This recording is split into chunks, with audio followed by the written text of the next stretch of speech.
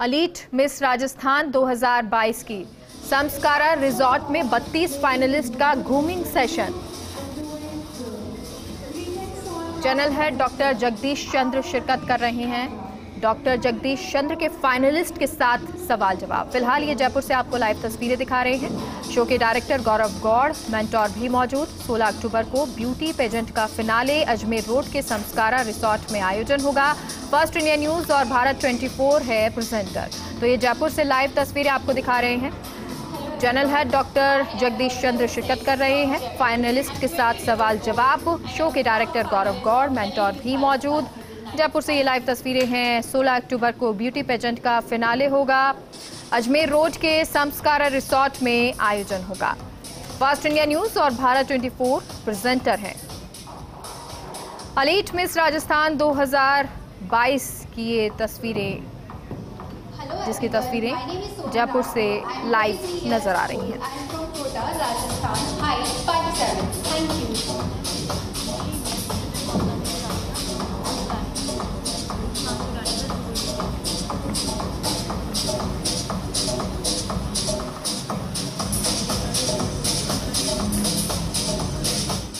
Channel head doctor Jagdish Chandra शिरकत कर रहे हैं जयपुर से लाइव तस्वीरें दिखा रहे हैं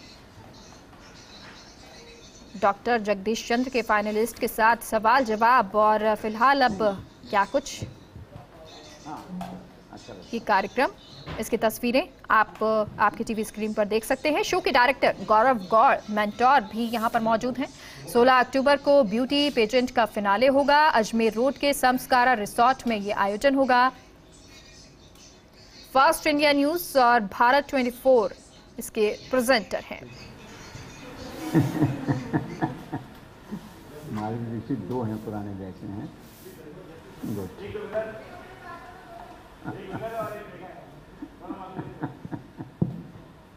And how you have the best faces इसमें कोई डाउट नहीं कोई डाउट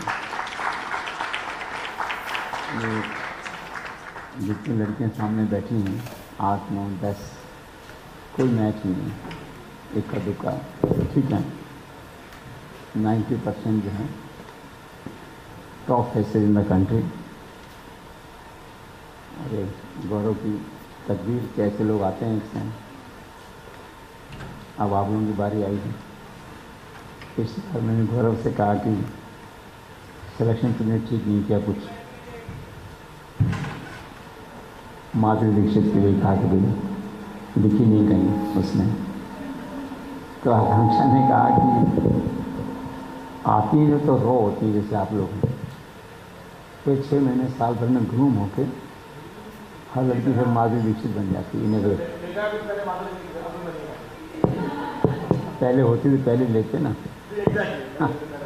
तो इसका भी कहना यह आकांक्षा कि जजमेंट हमारा सही होता है, बाद में और अच्छी हो जाती है तो क्या करें? तो ठीक इस बार हम ये ध्यान रखें मेरे ख्याल से कि बाद में तो अच्छी हो, बाद में अच्छी होंगी, इस संभावना को ध्यान में रखते हुए अभी से बनाए उनको। कितने फ़र्स्ट एज हैं, कितने में? तीन हमारे, उसमें कैंसिलेशन एक्सेप्ट करता हूँ, नो होंगे। ठीक है। तो मुझे कहा गया कि थोड़ा मैं अपने बारे में परिचय दूँ, बहुत ब्रीफ और फिर जो है then we can have question answer is a different question answer then there schedule question answer ये तो मुझसे आप कोई सवाल पूछना चाहेंगे कैरियर के बारे में और के बारे में? ये मोस्ट वेलकम ठीक है? तो मेरे बारे में ये है बहुत ब्रीफली कि गंगानगर ज़िले में